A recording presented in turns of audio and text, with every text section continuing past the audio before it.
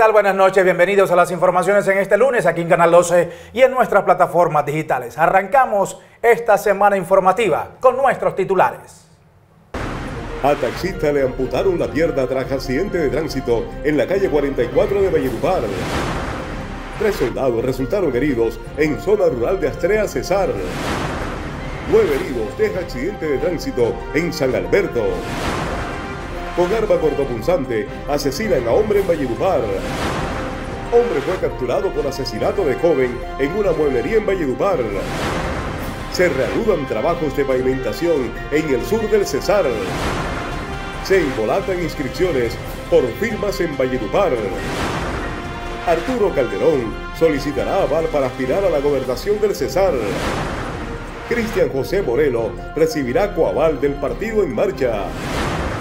Esta noche les mostraremos lo que debe saber sobre el calendario electoral. Policía Ambiental realiza control de residuos sólidos en vías públicas. Winder Bermúdez ganó medalla de bronce en Mundial de Paraatletismo que se disputó en Francia. En el imponente estadio de béisbol, Erasmo Camayo Calamar recibió la fiesta de la pelota caliente en los Juegos Intermunicipales. Monte la agrupación de Llave Romero fue atacada con arma de fuego. Estamos en todas las plataformas digitales. Somos RTA Noticias. Comenzamos el desarrollo informativo en esta emisión de RTA Noticias. Gracias por la sintonía desde cualquier parte del mundo que se están reportando a esta hora a través del Canal 2 y nuestras plataformas digitales. Un taxista perdió una de sus piernas tras un accidente de tránsito registrado en la calle 44 en el sur de Valledupar. Bienvenidos a nuestras informaciones. En delicado estado de salud se encuentra Elías Pacheco, de 60 años de edad, quien resultó herido luego de un accidente de tránsito registrado en la calle 44 de Valledupar en la mañana de este lunes 17 de julio. De acuerdo a las autoridades, el siniestro ocurrió cuando un vehículo color negro colisionó contra el taxi de placas UWS 902, conducido por Elías Pacheco, quien resultó con graves lesiones. Debido a las heridas, el hombre fue trasladado hasta la clínica alta complejidad en la capital del Cesar, donde le amputaron la pierna. Se conoció que Sergio Andrés Calderón, conductor del vehículo, vehículo particular al parecer iba en estado de embriaguez por lo que las autoridades lo trasladaron hasta el hospital Eduardo Arredondo Daza, sede la Nevada, para realizarle la prueba de alcoholemia. Adicionalmente, las autoridades informaron que dos personas identificadas como Norma Ospino, de 50 años de edad, y Lina Marcela, de 22 años, resultaron lesionadas en el incidente. Mediante redes sociales, sus familiares y amigos piden cadena de oración por el adulto mayor y donación de sangre o positivo, debido a que se encuentra en la unidad de cuidados intensivos UCI. Su familia familiares, por su parte, denunciaron este hecho en el que esperan que se haga justicia. Los sueños que nacen de la tierra, los hacen realidad. Tres soldados pertenecientes al batallón energético y vial del departamento del Cesar resultaron heridos, aparentemente en una riña entre compañeros.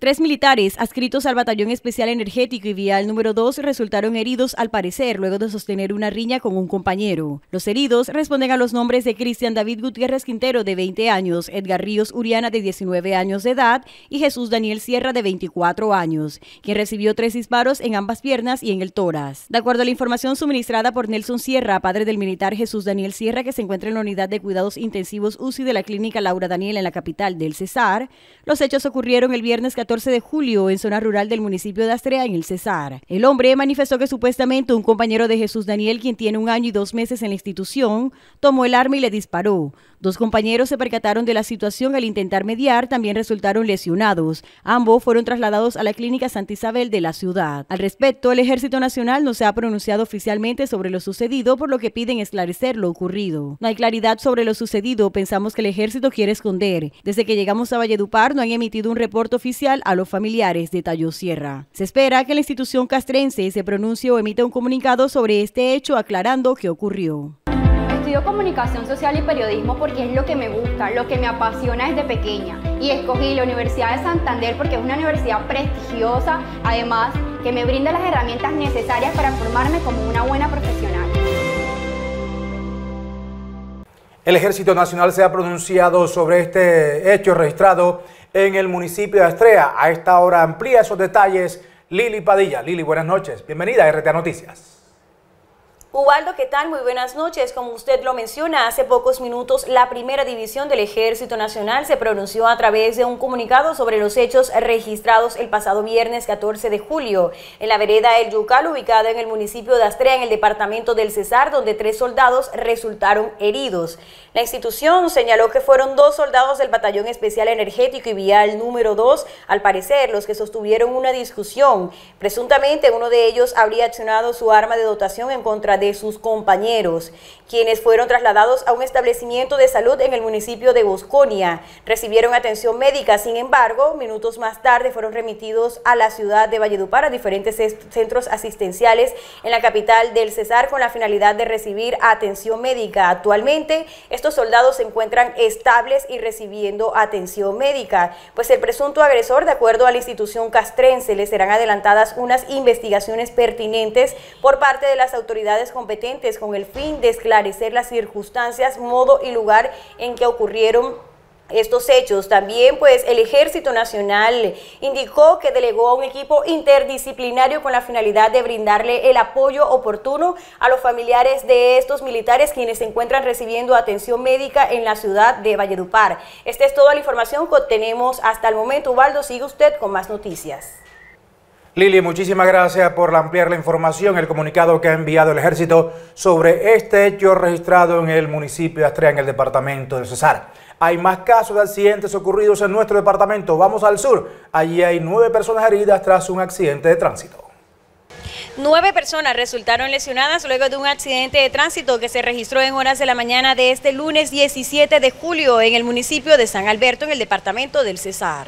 El siniestro que ocurrió en inmediaciones del área minera involucra tres buses. El primero de estos, afiliado a la empresa Libertadores de placa SSR 088 que cubría la ruta Cartagena-Bogotá, en el que resultaron cuatro personas heridas de los 46 pasajeros que transportaba.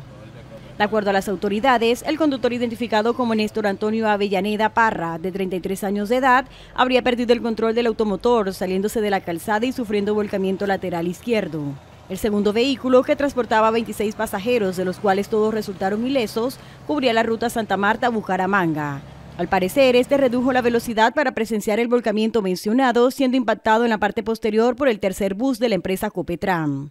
En el bus de placa TAW514 que se dirigía de Maicao a Barranca Bermeja y transportaba 33 personas, resultaron heridos cuatro, incluido el conductor identificado como Luis Felipe Arenales González, de 32 años. El hombre presentó trauma en miembro inferior derecho. De un total de nueve, ninguna revista de gravedad, todos los ocupantes son en este momento valorados en centros asistenciales. De acuerdo al comandante del Departamento de Policía Cesar, coronel encargado Wilson Álvarez, pese a los incidentes registrados en vías del Cesar y en el municipio de Valledupar, en comparación al año anterior, en el marco de las fiestas de la Virgen del Carmen, se presentó una reducción notable de muertes fatales.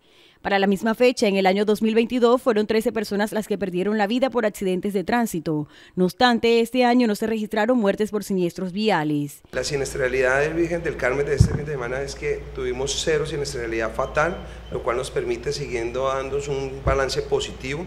Sin embargo, es entendible también que la imprudencia vial sigue, se sigue presentando, así las personas no fallezcan, sí resultan muchas personas lesionadas. Es de anotar que estas personas fueron trasladadas a diferentes centros asistenciales donde reciben ayuda médica. Desde el comando del Departamento de Policía en el Cesar, Lili Padilla informa para RTA Noticias con la cámara de Martín Saucedo. Con el apoyo del Ejército Nacional se reanudaron las obras de pavimentación de vías en el sur del Cesar que habían sido suspendidas a raíz de amenazas del Ejército de Liberación Nacional. Desde la gobernación del Cesar confirmaron que esta semana se reanudan los trabajos de pavimentación en el corredor vial corregimental donde se benefician población de los municipios de Pelaya y Tamalameque. Este proyecto de pavimentación de 26 kilómetros fue suspendido al parecer por delincuentes que estaban extorsionando a los contratistas de la obra, según lo manifestado por el gobierno departamental. En la zona actualmente realizan control territorial uniformados del Ejército Nacional pertenecientes al batallón del BAE 3 de la décima brigada para brindarle seguridad a los contratistas. En medio de estas labores de inteligencia se logró la captura de dos de los presuntos responsables de esta extorsión que fueron neutralizados en Pelaya. Estos 26 kilómetros de pavimentación benefician a los habitantes de los corregimientos de Pelaya y Tamalameque, como Brisas, Las Palmas, Mundo al Revés, Pasa Corriendo, Sitio Nuevo, entre otros. Faltan solo 12 días para el cierre de inscripciones de candidaturas a la alcaldía, gobernación, consejo, asamblea y también a ediles. Todavía no están claras las listas y los partidos están buscando integrantes porque no es fácil conseguir candidatos. Tanto a la alcaldía como a la gobernación de Cesar también hay todavía preocupación porque no todos tienen avales y todavía no se conocen los nombres definitivos de quienes aspirarán. Cosas de la política. Todo parece indicar que los candidatos que recogieron firmas en Valledupar para avalar su aspiración a la alcaldía estarían en apuros para conseguir la plata para pagar la póliza e inscribir su candidatura. A solo 12 días para la inscripción de candidaturas, muchos andan buscando avales de cualquier partido o movimiento para poder materializar la inscripción y desistir de las firmas. Algunos candidatos ya entregaron las firmas, otros, como Jaime González y Gonzalo Arzuza, aún no las han llevado a la registraduría. Lo cierto es que quienes ya entregaron y los que aún no llevan los paquetes a la entidad organizadora de las elecciones están pensando bastante en la plata de la póliza. Es que esa inscripción no se paga con moneda de mil, Después que la registraduría avale las 50.000 firmas que se necesitan, el grupo significativo de ciudadanos debe comprar una póliza que vale un poco más de 200 millones de pesos para poder inscribir el candidato plata que además no es reembolsable. Es por eso que todos los que salieron a recoger firmas están afanados buscando avales para poder inscribirse debido a que el plazo se vence pronto. Yo me pregunto aquí, ¿fue una estrategia salir a buscar firmas, hacer publicidad política antes que los demás y luego no inscribirse por firmas sino buscar un aval? El nombre del candidato o la candidata a la gobernación de Cesar que llevará el beneplácito de la Casa de Gobierno Departamental se conocería el 20 de julio. Por estos días, mientras se desarrolla el novenario del exgobernador Lucas Génico, la familia se ha tomado su tiempo para volver a revisar nombres y tomar una decisión una semana antes del cierre de inscripciones. RTA Noticias conoció que el nombre del elegido o la elegida se conocerá el 20 de julio. Dicho nombre podría ser una sorpresa y no estar entre los que ya se han mencionado. Lo cierto es que la falta de candidatos de peso en el panorama político actual le ha permitido a la Casa de Gobierno se tome su tiempo para mostrar el pollo con el que se la jugarán a la gobernación. El calendario electoral para el proceso de las votaciones territoriales de octubre de 2023 indica que el cierre de inscripciones es el 29 de julio. Según la registraduría, vence el periodo de inscripción de candidatos y lista de candidatos tres meses antes de la elección. Quienes deban modificar las listas tendrán hasta el 4 de agosto. Ese día vence el periodo para la modificación de candidatos y lista de candidatos por renuncia o no aceptación, indica el calendario electoral lo que significa que son cinco días hábiles siguientes al cierre de las correspondientes inscripciones. Así las cosas, candidato que no tenga el aval el 29 de julio, que se olvide de aspirar, y quienes recogieron firmas y no tengan para pagar los más de 200 millones de pesos que vale la póliza, que se olviden de su aspiración. Cosa de la política. Y tal como lo estamos diciendo en cosas de la política, hay varios candidatos que aparentemente, aparentemente no se avalarían por firmas por varias razones. Una de ellas es que deben pagar más de 200 millones de pesos por una póliza. Cristian José Moreno Villamizar ha conseguido un coaval con el que podría inscribirse sin necesidad de comprar la póliza. El precandidato a la alcaldía de Valledupar por el grupo significativo de Ciudadanos Somos Más, Cristian José Moreno, pronto recibirá el coaval del partido político En Marcha. El respaldo de este partido a Moreno se dio en medio de la entrega de avales a candidatos al Consejo de la capital cesarense por parte de la colectividad. La lista fue presentada por el dirigente nacional de la colectividad, Juan Fernando Cristo, además de disertar sobre los compromisos y responsabilidades que se le asistirán a quienes aspiren por una curul en el Consejo. Cristo expresó su apoyo al excongresista cesarense. Seguimos hablando de política en esta emisión de RTA Noticias. Vamos con el calendario electoral. Este mes el cierre es el próximo 29 de julio. Luego vienen otros movimientos en ese calendario electoral que se los contamos a continuación en esta nota de RTA Noticias. Cada vez está más cerca la fecha para que se lleven a cabo las elecciones territoriales, las cuales se ejecutarán el próximo domingo 29 de octubre con el fin de elegir a gobernadores, alcaldes, diputados, concejales y ediles.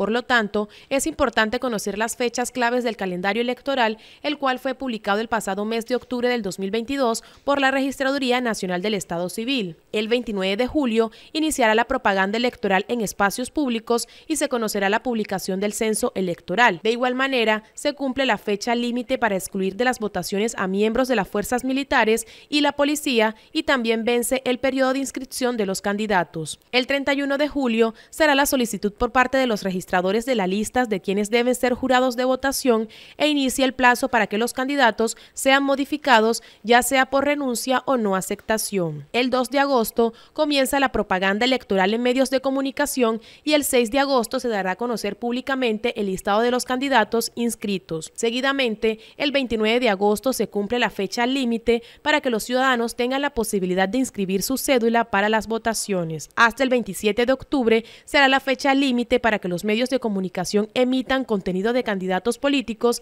y se vence el plazo para la inscripción y registro de testigos electorales. El domingo 29 de octubre será el día de las elecciones y el 31 de octubre será la verificación y consolidación de los resultados de las votaciones.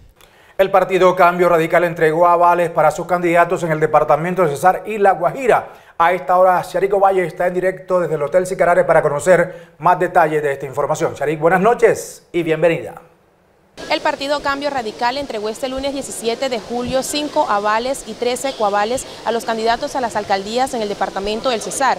La entrega de certificados estuvo liderada por el senador Didier Lobo Chinchilla. Hoy estuvimos entregando los avales y coavales de los candidatos a las alcaldías de los municipios del departamento del Cesar y de los municipios del departamento de La Guajira, donde tuvimos muy en cuenta estas personas que tienen una verdadera vocación social, que se vienen mostrando, que han sido persistentes en la lucha continua por defender sus comunidades entre ellos el alcalde de Valledupar, quien quiero resaltar en el día de hoy por toda esa ardua labor y que la vez pasada no nos alcanzó, pero aquí estamos siendo coherentes y manteniéndonos firmes en la decisión de que el partido Cambio Radical le brinde la oportunidad a alguien de que esté transformando esta importante ciudad. En este encuentro también le fue entregado el coabal al aspirante a la alcaldía de Valledupar, Ernesto Orozco, quien se mostró muy satisfecho. Bueno, no, muy contento de recibir este coabal por parte de Cambio Radical.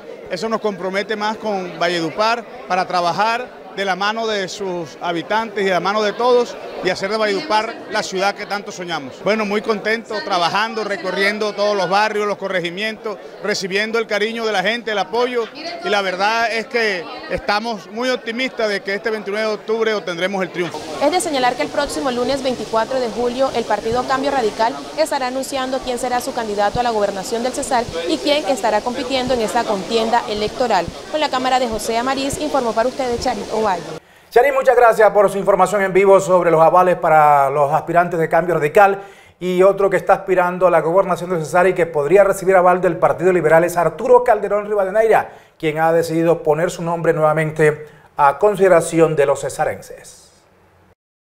El exsecretario de Gobierno de Valledupar, Arturo Calderón Rivadeneira, confirmó a RTA Noticias que sería candidato a la gobernación del Cesar. Rivadeneira afirmó que solicitará el aval del Partido Liberal liderado por César Gaviria y que esta semana realizaría su inscripción en una sede de la Registraduría Nacional. De esta manera, Calderón aclaró los rumores que se especulaban en cuanto a las aspiraciones a un cargo de elección popular, toda vez que se escucharon rumores que sería candidato a la alcaldía de Valledupar. Cabe recordar que el día de la entrega de avales a candidatos del Partido Liberal, el representante Carlos Felipe Quintero manifestó que estaban esperando que el Calderón Rivadeneira tomara la decisión de presentar su nombre para el cargo de gobernador. Es de anotar que el Partido Liberal entregó 15 avales a los candidatos que aspiran a ser alcaldes en diferentes municipios del Cesar. En este acto, realizado el pasado 30 de junio, estuvo presente Arturo Calderón.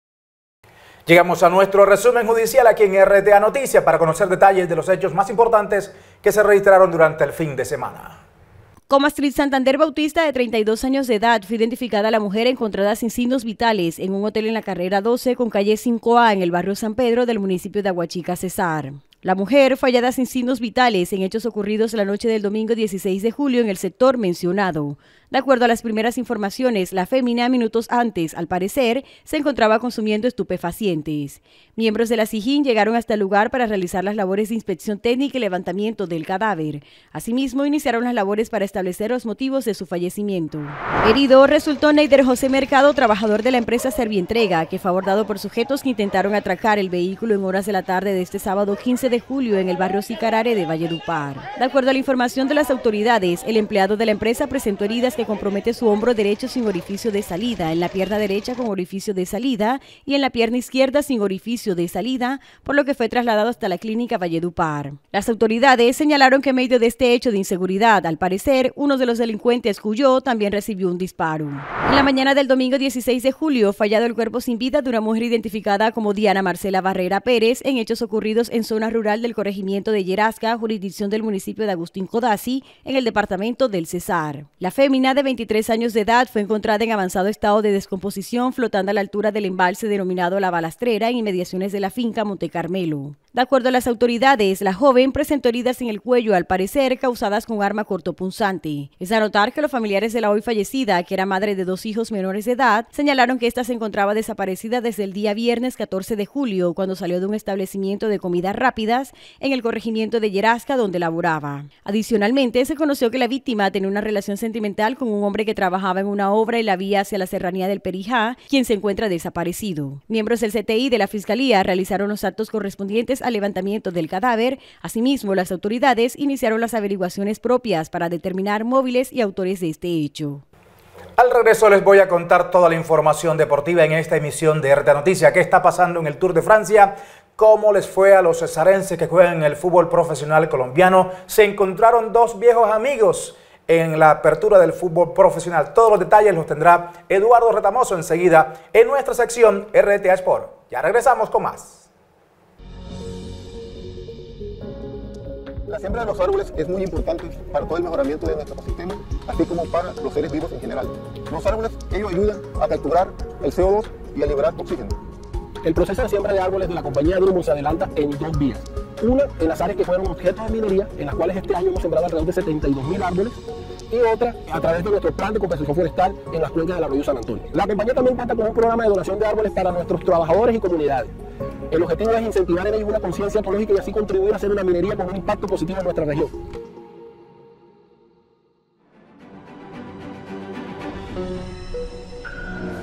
Los trampolines de diversión regresan a Guatapurí Plaza Comercial, con más saltos y emoción que nunca. Plazoleta de eventos, adquiere tu boleta de ingreso en el punto de atención, presentando factura de compra más 5 mil pesos en efectivo.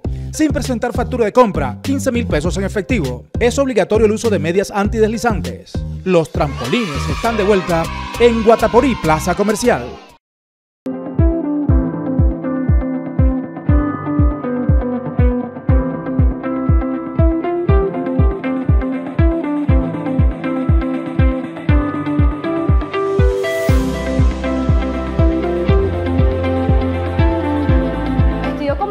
Social y periodismo porque es lo que me gusta, lo que me apasiona desde pequeña. Y escogí la Universidad de Santander porque es una universidad prestigiosa, además que me brinda las herramientas necesarias para formarme como una buena profesional. Aquí he visto iniciar sueños desde hace más de 25 años. En este lugar la realidad es más sincera. Tengo muchos recuerdos y cómo no, si todos los días junto a más de 700 compañeros hacemos que las despedidas sean más sanas, que los saludos se vean mejor, que los reencuentros tengan aromas y que los sueños inicien más reales, más alegres, más bonitos y sí, más limpios.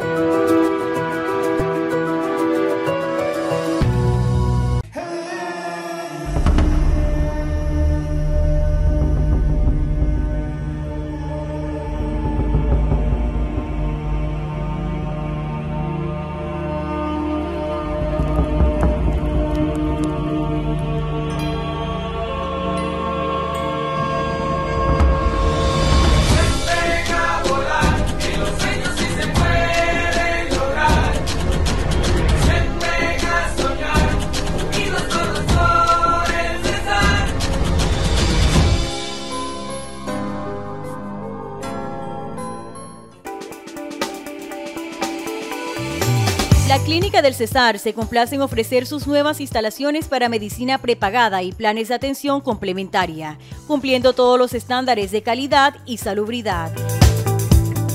Clínica del Cesar tiene todas las especialidades médicas y un recurso humano altamente calificado para que su salud esté garantizada. Clínica del Cesar S.A., líder en atención, calidad y servicio.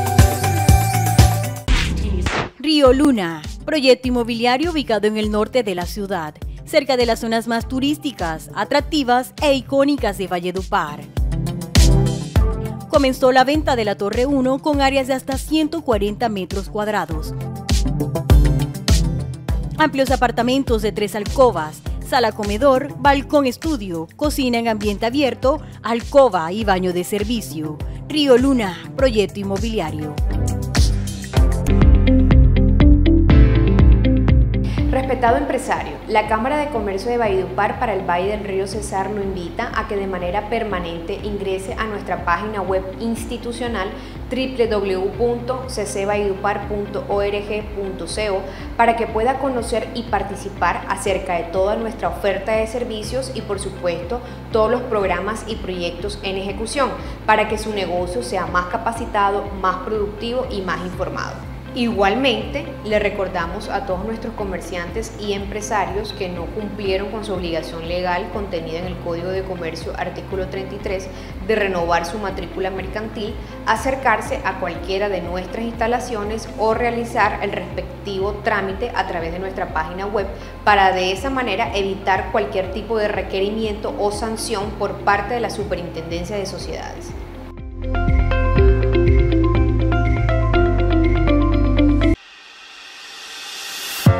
Clínica Erasmo, somos pioneros en servicio especializado en traumatología integral en toda la región. Asistencia con la más alta tecnología.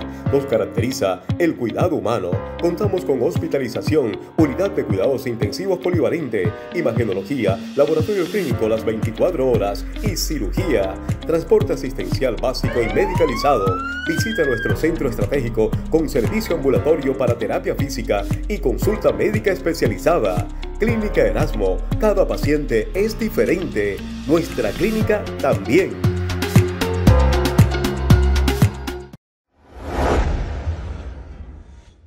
En la invasión Vista Hermosa de Bayupar fue asesinado un hombre con arma blanca. Las autoridades comenzaron a investigar este caso.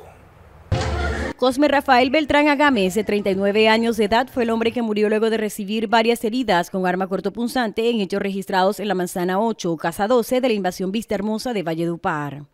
El suceso ocurrió el domingo 16 de julio. De acuerdo a un familiar de la víctima fatal, el hombre fue encontrado al interior de su vivienda con varias puñaladas, por lo que fue trasladado hasta el hospital Eduardo Redondo Daza, sede La Nevada, donde el personal médico confirmó su deceso por la gravedad de las heridas. De acuerdo al primo del hoy fallecido, al encontrarlo le preguntó sobre los responsables de este acto, negando tener conocimiento al respecto.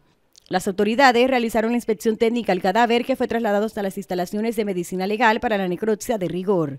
Asimismo, iniciaron las investigaciones para dar con los responsables de este hecho de sangre, con el que se elevan a 78 las muertes violentas en lo corrido del año 2023 en la capital del Cesar. Los sueños que nacen de la tierra, los hacen realidad. Las autoridades capturaron en las últimas horas a un hombre que estaba siendo investigado por ser el presuntamente responsable del asesinato de un joven en una mueblería el año pasado en esta capital. Miembros de la seccional de investigación criminal SIJIN lograron la captura por orden judicial de un hombre identificado como Isidro Antonio Rodríguez, de 23 años de edad. El sujeto es señalado de ser el presunto responsable de la muerte de Luis Mario Bolaños Chacín, de 20 años de edad, ultimado a bala en una mueblería en Valledupar. La captura se materializó en el barrio El Carmen de la capital del Cesar luego de un trabajo investigativo con la Fiscalía 8 especializada. También las autoridades lograron la incautación de la motocicleta en la que se movilizaba. El acto de violencia que involucra al hombre de nacionalidad venezolana ocurrió el pasado 26 de septiembre del año 2022, cuando la víctima fatal, conocido como El Gordo, se encontraba trabajando en un local de muebles ubicado en el barrio Primero de Mayo de la capital del Cesar. De acuerdo a las autoridades, el presunto agresor llegó al establecimiento comercial haciéndose pasar como cliente para dispararle indiscriminadamente a Bolaños hasta acabar con su vida. Por los anteriores hechos, el hombre fue trasladado hasta las instalaciones de la Unidad de Reacción Inmediata URI, donde deberá responder por los delitos de homicidio agravado, tráfico, fabricación o porte de armas de fuego. Estudio comunicación social y periodismo porque es lo que me gusta, lo que me apasiona desde pequeña. Y escogí la Universidad de Santander porque es una universidad prestigiosa, además que me brinda las herramientas necesarias para formarme como una buena profesional. La Policía Ambiental de Valledupar viene realizando el control a los residuos sólidos que se tiran en las avenidas y separadores de avenidas de esta ciudad. Fueron nueve los comparendos realizados por la Policía Ambiental y Ecológica del Departamento de la Policía del Cesar durante este fin de semana en los diferentes sectores de Valledupar con el fin de dar manejo a los residuos sólidos en las vías públicas. Algunos de los sectores donde se lograron los nueve comparendos antes mencionados fueron en los barrios El Edén, Altos de Pimienta, tres comparendos en la margen derecha del río Guatapurí a la altura de los barrios 9 de marzo, Pescaíto y 25 de diciembre, entre otros. Según las autoridades, a estas personas se les dio paso a un comparendo debido a que tuvieron comportamientos contrarios a la limpieza y sus malas prácticas habitacionales. Las autoridades invitan a la ciudadanía a tener precaución a la hora de hacer uso de los residuos sólidos y denunciar cada acto que afecte la seguridad y convivencia ciudadana. En el municipio de Pailitas, el gobierno municipal entregó un parque Sacúdete al servicio de la comunidad. Vamos a nuestra conexión regional con Vladimir Mier.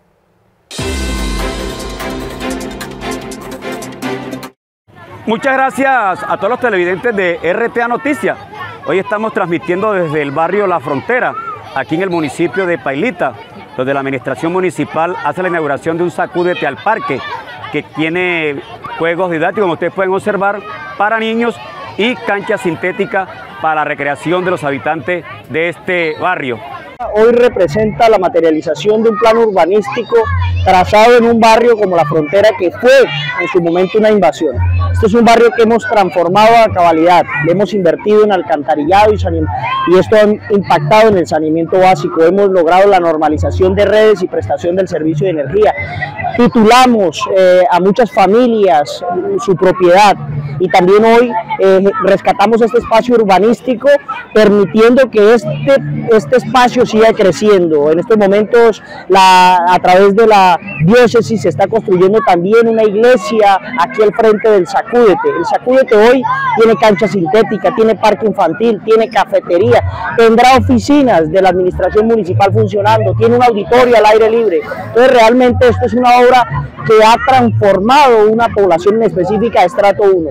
Entonces hoy para nosotros es un día de gloria, es un honor poder estar hoy aquí eh, a punto de inaugurar esta Con encuentros deportivos eh, es la inauguración de este sacúdete al parque por parte del alcalde Carlos Javier Toro, pues también dio a conocer que en este lugar anteriormente era un sitio muy frecuentado por personas que tenían problemas de drogadicción. Para RTA Noticias, desde el municipio de Pailita, les informó Vladimir Mier.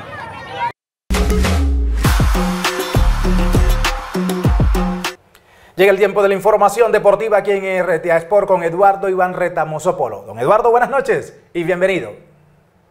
Ubaldo, ¿qué tal? Un saludo muy especial a usted, a todos nuestros televidentes. Estamos felices de haber comenzado semana laboral aquí en RTA Noticias. A continuación, las informaciones más importantes a nivel de deportes en RTA Sports. Gran noticia. Buinder Bermúdez Villar, un vallenato que es para atleta. Compitió en el Mundial de eh, los 400 metros planos y allí se consagró con la medalla de bronce. Fue el tercero, pero a la postre un logro bastante importante para su carrera deportiva. Además, para el departamento del Cesar y Valledupar. A pesar que no representa a Valledupar ni al Cesar porque corre por el departamento del Valle del Cauca.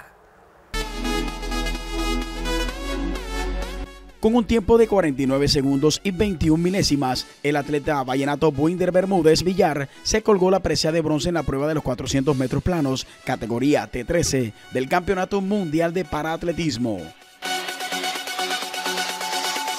Con este registro, Bermúdez impone nuevo récord de las Américas y además le da cupo para correr en los Juegos Paralímpicos París 2024. La medalla de oro fue para Rayota Fukunaga de Japón que paró el cronómetro en 47.79, mientras que el metal de plata lo ganó el africano nacido en el país de Namibia, Johannes Nambama, que marcó un tiempo de 48.14.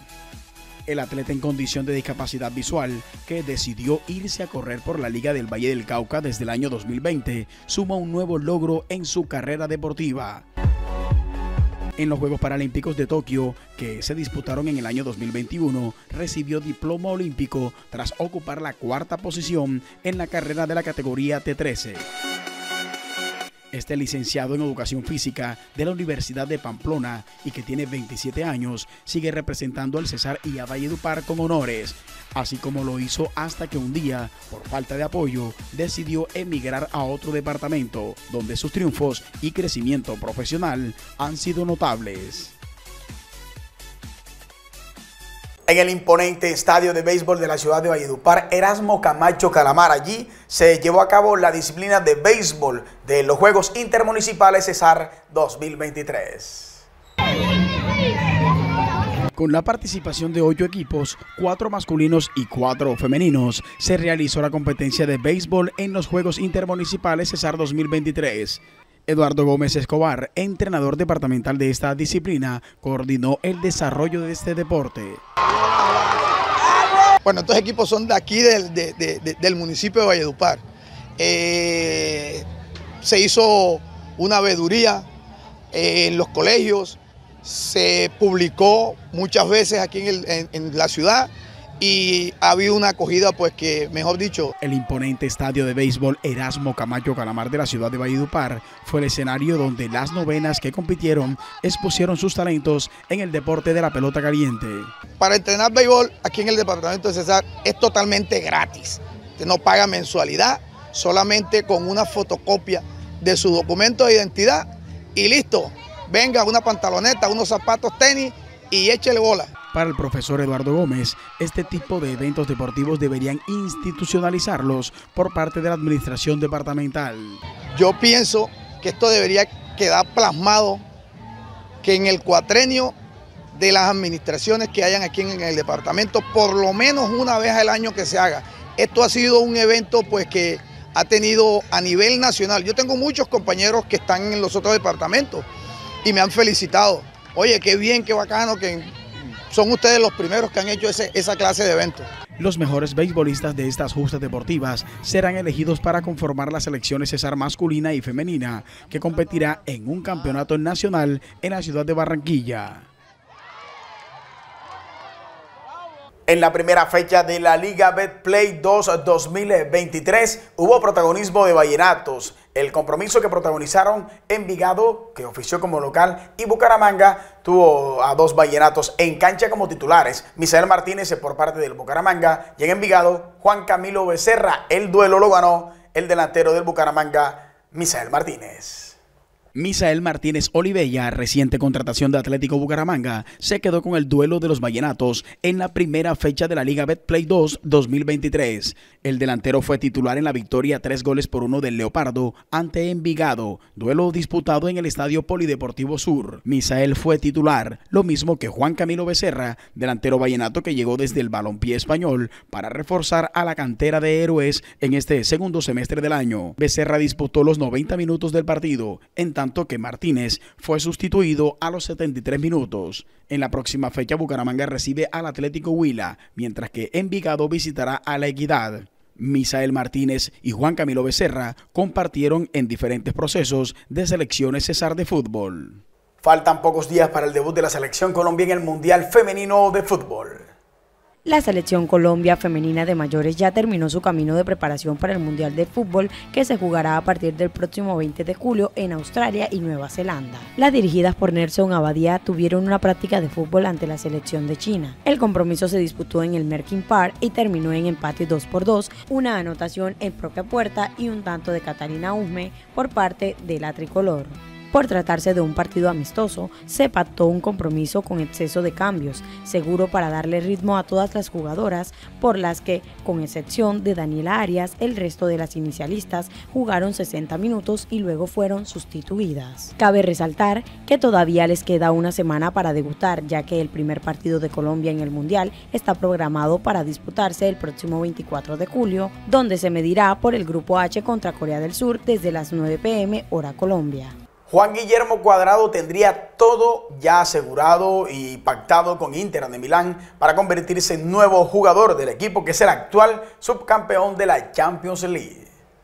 Después de confirmarse la salida de Juan Guillermo Cuadrado de la Juventus, muchos son los clubes que se han aventurado en buscar la contratación del colombiano. Sin embargo, de acuerdo a la información del famoso periodista Fabricio Romano, el lateral habría llegado a un acuerdo con el Inter de Milán y firmaría por un año con el cuadro Nerazzurri. El Inter se prepara para las pruebas médicas de Juan Guillermo Cuadrado el martes. El acuerdo con el lateral derecho colombiano tiene vigencia hasta junio de 2024. Cuadrado quiere unirse al Inter, aceptó de inmediato. Durante la temporada anterior disputó un total de 47 partidos con la Juventus, contando Serie A, Champions League, Europa League y Copa Italia. De esta manera, Cuadrado se convertiría en el sexto colombiano en pasar por el Inter de Milán. Ya lo hicieron Iván Ramiro Córdoba, Nelson Rivas, Freddy Guarín, Jason Murillo, Eddie Salcedo. Estos son los cafeteros que han pasado por el plantel italiano. Los colombianos protagonizaron caídas en la etapa 15 del Tour de Francia, nada que avanzan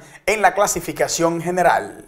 La etapa 15 del Tour de Francia prometía la fuga de varios corredores, entre ellos Egan Bernal y Rigoberto Urán. Sin embargo, los dos ciclistas colombianos sufrieron caídas que frenó sus ataques y los alejó de esa posibilidad de soñar con conquistar la etapa. Por su parte, Rigoberto Urán se mostró contento por el desempeño mostrado a lo largo de la etapa, en donde llegó a 5 minutos y 53 segundos del ganador. Este resultado le sirvió para escalar 17 casillas en la clasificación general de la carrera, llegando al puesto 78 a casi 3 horas de los líderes, Jonas Vingegaard y Tadej Pogacar. Egan Bernal se refirió a esta situación y confesó que pese a que los médicos le indicaron que se levantara, él quería quedarse en el suelo debido al dolor que sentía. No obstante, el ciclista de 26 años tomó la decisión de seguir adelante en la carrera. Cabe resaltar que en la etapa 14 se retiraron los colombianos Daniel Felipe Martínez y Esteban Chávez, debido también a caídas que generaron en ellos lesiones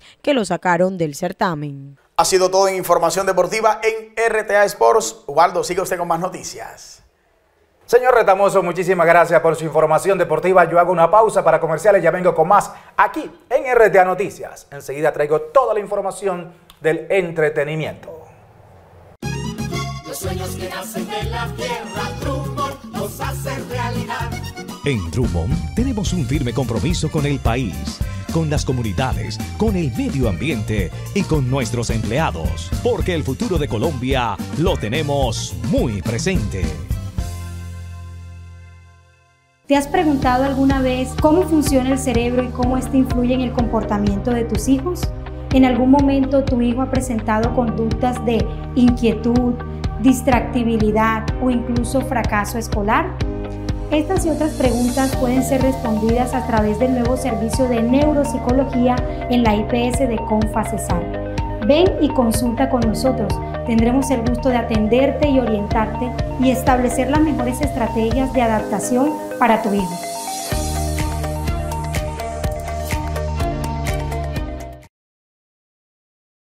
Visita La Paz, a solo 10 minutos de Valledupar. Prueba las deliciosas almojábanas y conoce la tierra de los hermanos López y Jorge Oñate. Alcaldía de La Paz, somos todos. Martín Zuleta Mieles, alcalde. El Instituto Cardiovascular del Cesar nació en el corazón de Valledupar para salvar vidas en la región. Somos el Instituto Cardiovascular del Cesar. Juntos por el corazón del valle.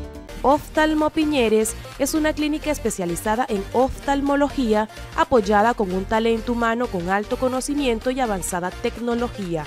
Ofrece la gran promoción durante todo el mes de julio a todos los estudiantes entre 5 y 17 años, descuentos en consultas de oftalmología y optometría, antes 200 mil, ahora 100 mil. Reserva tu cita al call center 605-589-4044. Oftalmo Piñeres, Clínica Oftalmológica Retina y Vitrio. Nuestros canales de atención ahora más cerca de ti están al alcance de tu mano para resolver cualquier duda sobre nuestro servicio. Gases del Caribe, estamos contigo. Tú soñaste con estas obras. Centro de Bienestar Animal, Ecoparque, Centro Sacúdete, Plaza de Atanques, Policía Metropolitana, Parque Blanco del Barrio Sicarare, Acueducto de Patillar, Parque Poncho Zuleta. El gobierno de Mello Castro marca hitos de ciudad. Mello Castro cumplió y si pudimos salir adelante. Vamos para adelante, vamos para adelante. Alcaldía de Valledupar. Siempre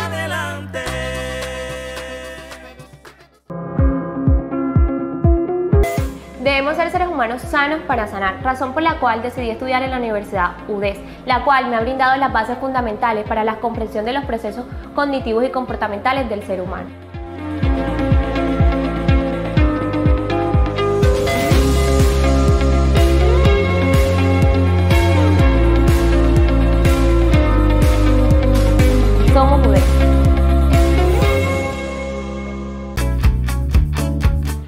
N, ¿qué me recomienda para la caída del cabello, para las uñas, débiles, para la piel? Bueno, querida amiga, aquí en la tienda naturista donde Jaime tenemos este producto que es colágeno hidrolizado, eh, con 10.000 miligramos de colágeno hidrolizado por porción.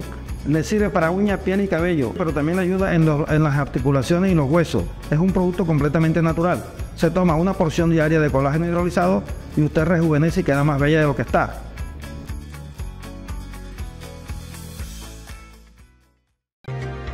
Aducesar trabaja diariamente por el fortalecimiento de la educación pública, preparando a las nuevas generaciones de cesarenses. Gracias a nuestros docentes. Aducesar vela por la defensa de los docentes. Aprovecha los días verdes de Supermercados Mi Futuro y Don Campo. Son más de 78 referencias de frutas y verduras con el 20% de descuento. Guineo, plátano, papa, cebolla, tomate, zanahoria, yuca y muchos productos más con el 20% de descuento. Días verdes en Supermercados Mi Futuro y Don Campo. Frutas y verduras frescas y saludables. ¿Cansado de no tener en qué transportarse? A Supergiros Cesar llega el promocional Gira y Gana. Con solo enviar giros nacionales, podrás ganarte una de las tres espectaculares motos NIO NX110 TBS. Depositando las tirillas en los buzones que encontrarás en los puntos de Supergiros. Válido desde el 20 de mayo al 31 de julio de 2023. Aplican términos y condiciones. Sistema Cardenal presenta las emisoras del Sistema Cardenal en las bandas AM y FM, ubicadas en cada una de las capitales y ciudades intermedias de los departamentos de nuestra costa. Con nuestras frecuencias, cubrimos la ruta sentimental de los compositores de la música vallenata. Nuestra señal la pueden recibir los oyentes en cualquier lugar del mundo para las aplicaciones de TuneIn Radio y Radio Garden. Sistema Cardenal. Los integrantes de la agrupación de allá de Romero y Campillo fueron víctimas de los delincuentes, quienes intentaron robarles mientras se movilizaban en el bus de la agrupación. Comenzamos nuestra información de entretenimiento aquí en RTA Noticias. La mañana de este lunes 17 de julio, el bus donde se transportaba la agrupación vallenata de Yade Romero y Luis Campillo fue atacado por tres hombres armados que intentaron robarlos. Los hechos se dieron a las 3 de la mañana cuando los artistas del género vallenato se dirigían a cumplir con otros de sus conciertos en el municipio de Puerto Santander, ubicado al norte de Santander. Al bajarnos de la presentación en Sardinata salimos directo a Puerto Santander. El bus frenó sobre un resalto de la vía y salieron tres personas desde el monte. El chofer nuestro no frenó y comenzaron a dispararnos.